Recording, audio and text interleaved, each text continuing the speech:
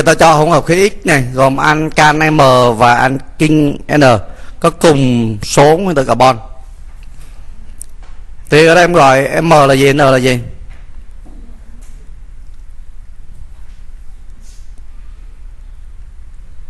Đây M chúng ta là ancan thì nó là CN H2N cộng 2 vì NM cùng số carbon như vậy cái N này là cũng là CN luôn H2N vì nó là ankin thì nó là trừ hai. được chưa? Rồi ở đây mình lưu ý này ở đây người ta cho hỗn hợp x này có khối lượng và có thể tích. Có khối lượng x này 12,4 gram. Thì tích này em sẽ đổi sang mol cho thầy? Bao nhiêu? 6,32 chia 2,4 0,3 Rồi Bài này chúng ta sẽ dùng phương pháp bánh mì kẹp thịt. Bạn biết bánh mì kẹp thịt không ạ? Chúng ta sẽ tính được khối lượng mol của x này. Khối lượng mol là khối lượng mol trung bình. Nó sẽ bằng khối lượng nhỏ chia cho n nhỏ.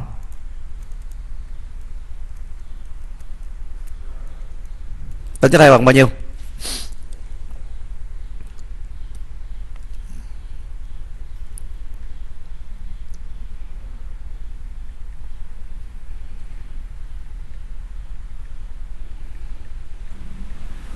Bốn mốt phẩy ba ba.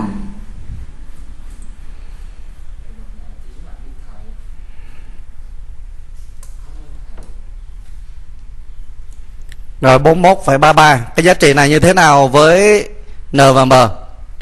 Trung bình có nghĩa là gì? Nó sẽ kẹp giữa N và M. Nó sẽ nằm ở giữa.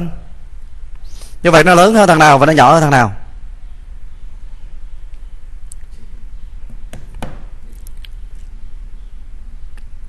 Nhìn thấy không?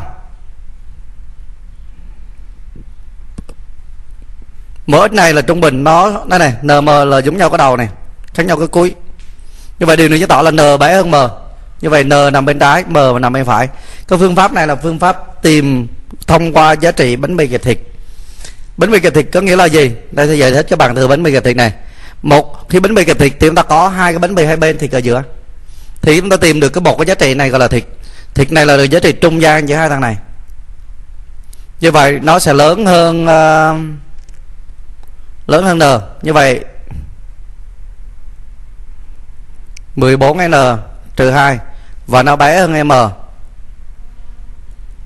14n cộng 2 cái đó như bạn lại đi cái chỗ này như bạn yếu toán là bắt đầu có suy nghĩ tầm bậy này. Được không? Bây giờ bây giờ bạn giải như thế nào để tìm ra thằng này?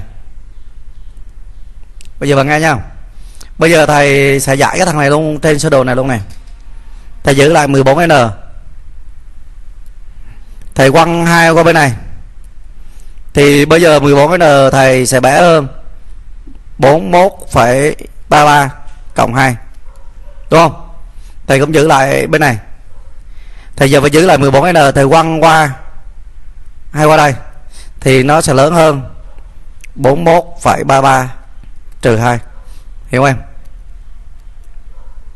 Đó cái đó em sẽ tìm cho thầy. Bên này là bằng à, 39,33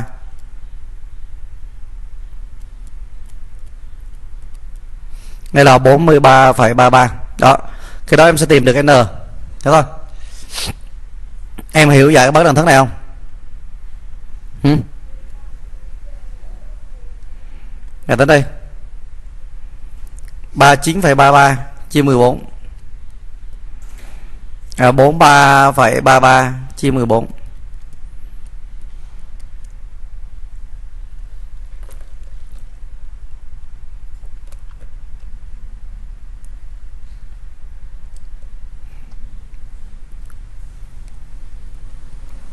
trả nhiêu phải bao nhiêu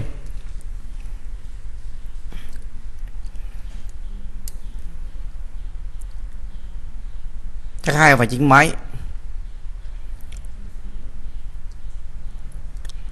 bên trái bao nhiêu rồi hai phẩy tám bên phải. N chúng ta nhận giá trị nguyên thì CN bằng bao nhiêu? Từ 2,8 đến 3,1 có một giá trị nguyên đó là phải là bao không? Cho thằng này là C3H cho biết. N 3 thì có hai thằng là N và M. M trước đây. M là C3H8 đây.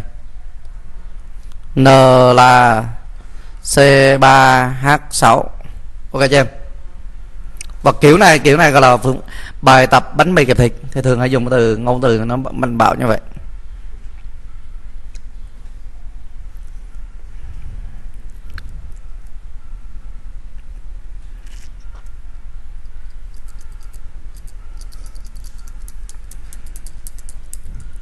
Rồi được chưa bạn ơi? Các bạn có kiến gì về câu hỏi này hay không ạ? Mình nghĩ cái câu này nó chỉ ờ, hơi bị rối chỗ cái chỗ cái cái, cái giá trị lớn nhất và giá trị nhỏ nhất của m thôi. M trung bình thì nó sẽ nằm giá trị trung gian giữa n và m. Do đó mình đánh giá nm coi thử nó lớn hơn thằng nào và nhỏ hơn thằng nào. Còn bạn nghe từ cái bước này thầy sẽ chỉ bạn đến bước này luôn bằng cách chúng ta sẽ dùng phương pháp bấm máy tính hai lần. Đây chúng ta nhìn nha đầu tiên là xét bên trái 14 n. Ờ, trừ 2 bằng 41,33 3,1 đúng không? Sắp xỉ 3,1 xét bên phải thì chỗ này là cộng 2 2,8 như vậy đây. Thì chúng ta tìm được hai giá trị. Giá trị nhỏ nằm bên trái và lớn trị lớn nằm bên phải. Bằng cách chúng ta bấm shift sầu hai lần.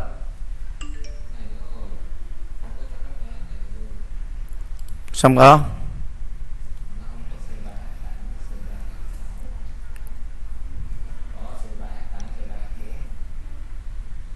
và C3H4 cái nhầm á.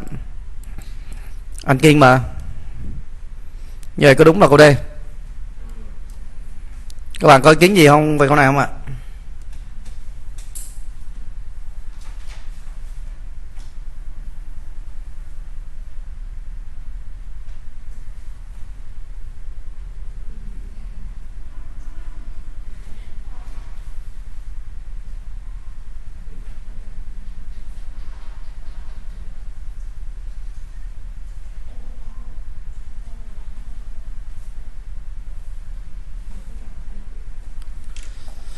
Được chưa em ơi?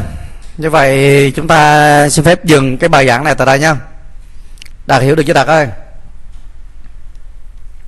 Dạ hiểu. Rồi